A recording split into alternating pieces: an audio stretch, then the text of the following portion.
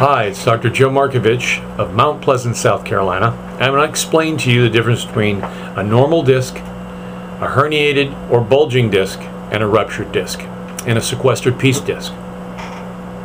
A normal disc is nice and thick, has good circulation to it, is hydrated, and is a cushion between the vertebrae themselves it separates the area where the nerve root comes out. You can see the nerve root, this is this yellow thing, comes out in between the vertebrae. The nerve root itself is actually part of the central nervous system and consider that. So if there's a pinched nerve or stenosis you might have heard or any kind of pressure on the disc or from the disc onto a nerve root, that is a central nervous system problem. So the disc is thick and you can see here in the middle is this like a little like a fried egg. This is the nucleus. And these ring things here, those are considered the annula, the annular uh, rings around the disc. So basically this is layers and layers of fibers that make the disc strong and supportive. It's the strongest ligament in the body, the disc. So you get this nice thick fried egg, fried, fried egg look over easy, that big nucleus pulposus. Now what happens is when you tear a disc, you heard about people fracturing a disc, bulging a disc, slipping a disc. There's a tear in the disc. The annular fibers start to get torn. You're starting to get dehydration of these discs. This is, this is a normal part of aging. Degenerative disc disease or uh, degenerative joint disease, whichever you prefer.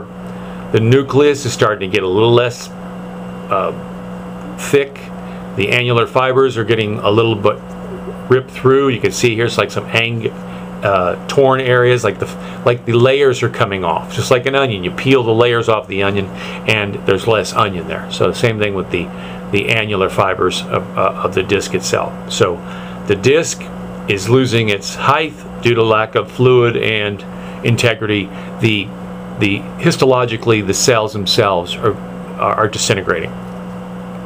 So this would, could be considered possibly possibly the beginning of a disc bulge. There's no bulge as yet, but when these fibers tear, it's just a matter of time.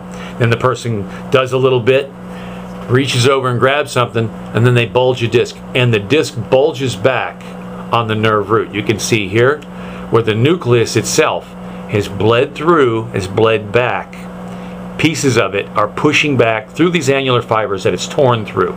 So it's torn through, but it's not completely torn through. So this would be considered a bulge or a herniation. All right, it's herniating, but it's it's not completely torn through. If it was herniating, just like a herniated bowel or a hernia, if a person talks about a hernia, inguinal hernia, it's their bowel is pushing through the, the fiber, the muscle fibers of the abdomen and causing a herniation. Same thing can happen here. And then this can cause severe pain.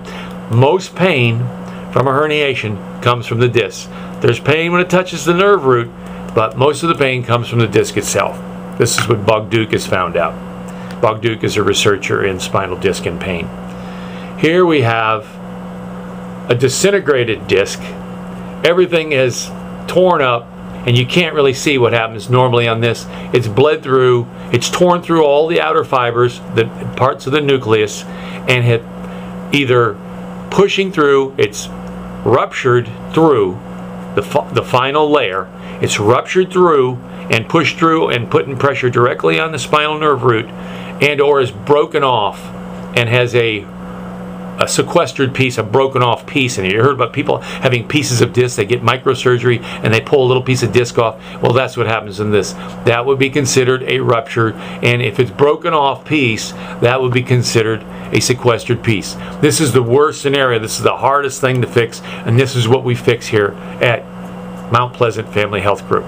So if you have anybody who has serious back pain, leg pain, sciatica, problems with walking, ambulating, getting up out of a chair. Those are the people that need chiropractic care at our center.